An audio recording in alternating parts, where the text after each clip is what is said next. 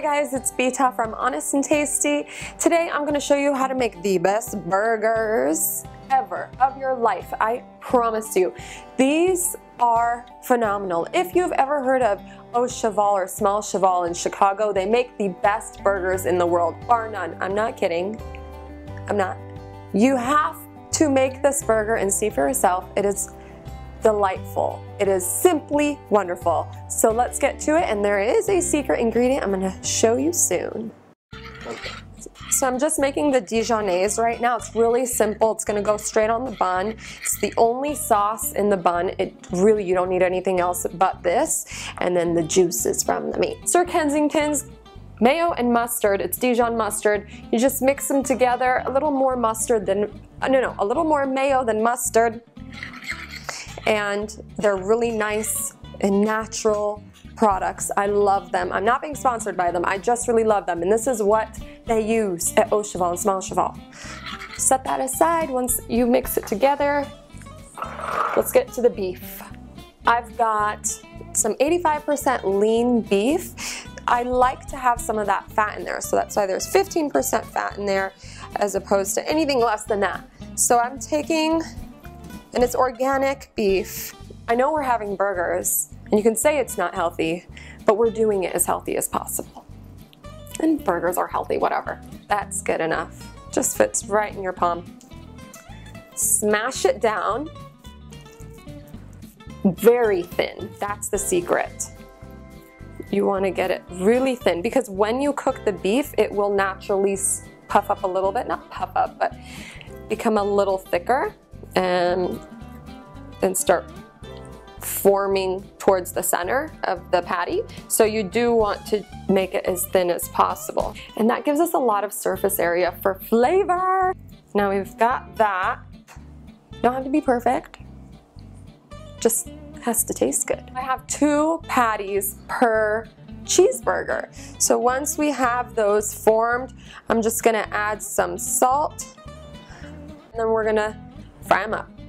I've got a very hot cast iron pan. I've added a little bit of sunflower seed oil to it, which is a high smoke point, so you're not gonna burn your oil, because you do want it to get really hot to get a nice char on the beef. The secret ingredient, beef tallow. I'm gonna add a little bit of that. It's beef fat. And it lets you give so much more flavor to the beef patty than you would have had otherwise. So flavor equals good. Now that that's hot and ready to go for us, we're just gonna put our patties down.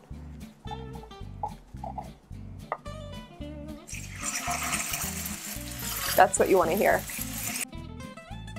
Let it go for about a minute on each side. Top them with some cheese. Good old American cheese. That's the best for a good burger. Not cheddar, not anything else. American. Turn that heat off. Take the burgers off.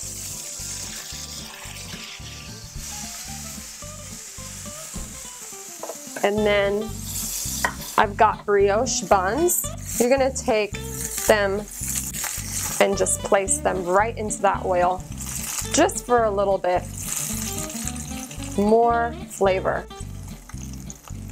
That's good.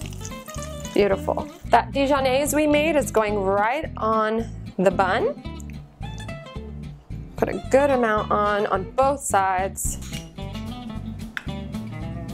And then I've chopped up some red onion and some pickle. Very thinly sliced pickle, very finely chopped red onion. That's all you're gonna want on the burger. Trust me, it is fantastic.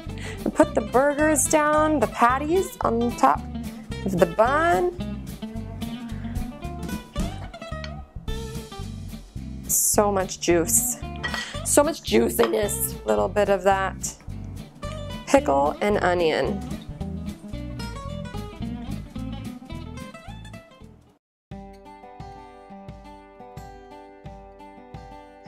Close that baby.